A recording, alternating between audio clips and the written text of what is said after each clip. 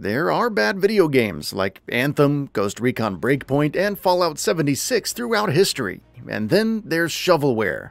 Oftentimes poorly made and mass produced, shovelware can range from non games that serve no purpose other than to provide easy trophies to blatant copyright infringements, looking to scam some poor souls. Let's take a look at the worst, most rubbish shovelware on the Xbox and PlayStation stores. War God Zeus of Child.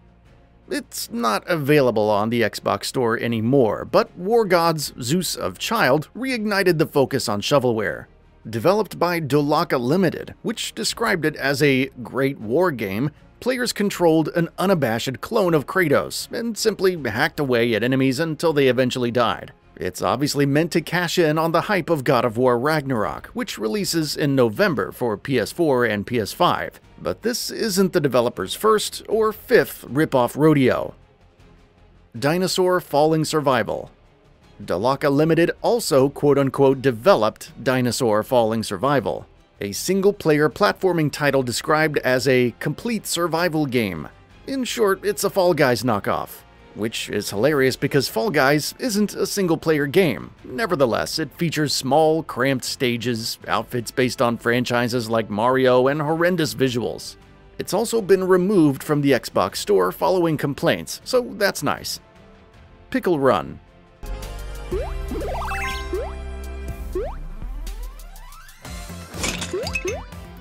Though Dolaka doesn't seem to have a presence on the PlayStation Store, PS4 and PS5 games are at the mercy of S Mobile games and masterpieces like Pickle Run. You play as a perpetually smiling pickle in an auto-run style platformer. There are 12 levels, but you can complete it in less than half an hour. Never mind getting its platinum trophy in about 2 minutes. Don't worry though, this is only a tease of S Mobile's other efforts.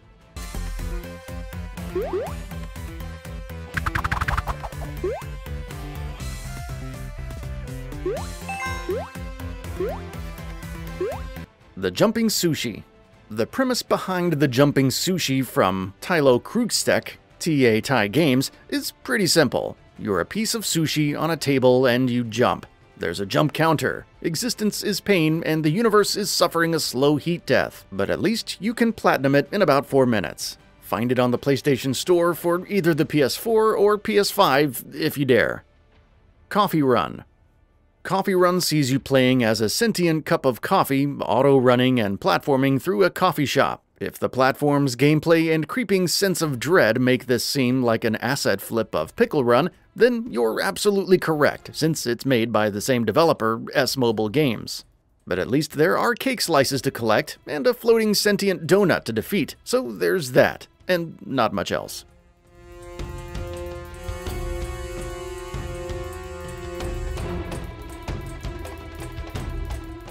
Classic platformer Mariones.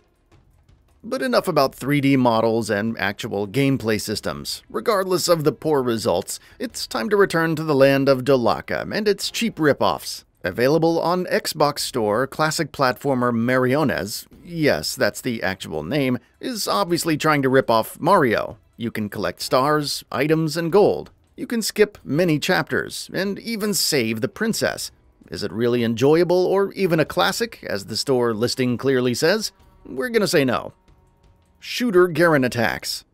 If you're looking for reprieve from Dolaka's horrendous platforming efforts, then good news. It has some shovelware action games as well. Shooter Garen Attacks on the Xbox Store has you playing as a shirtless tattooed dude with questionable hair gunning down the glass foes from Superhot en route to capturing the big castle.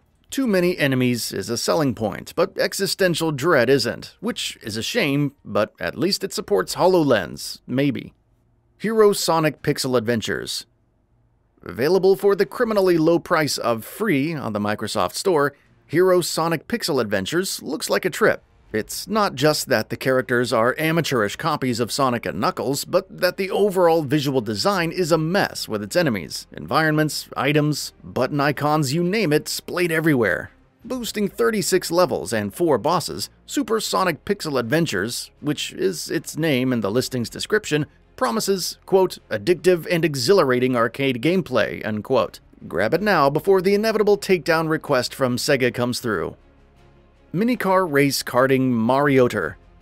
Touted as a brand new kart racing game that is like a Mario Kart game, Dolaka's Minicar Race Karting Marioter just straight up uses Mario's model and kart.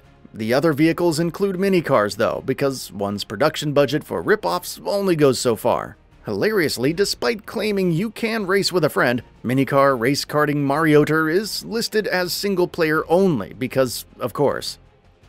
Kruger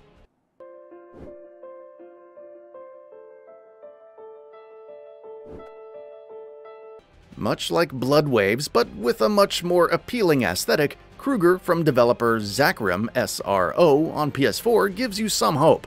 It requires some modicum of platforming skill with bouncy platforms, fireballs, spikes to avoid, and moving platforms. But just when it seems like the tutorial section is done, the game unceremoniously ends after just three levels. No explanation, no discernible meaning, nothing. Simply take your platinum and leave without too much fuss if you would. Fly Monster 3D. Of course, on returning to Dolaka's efforts on the Xbox Store, one is greeted with masterpieces like Fly Monster 3D. You control Arceus from the Pokemon series and fly over the sea trying to not hit rocks. There's a high score, or probably a legal notice from Nintendo en route at some point. That's all for now. If you enjoy what you saw, please hit the like button. And if you're new to the channel, now is a great time to subscribe. We upload brand new videos every single day. After subscribing, don't forget to enable all notifications by clicking the bell icon. Thanks for watching this video, and we'll see you next time, right here on GamingBolt.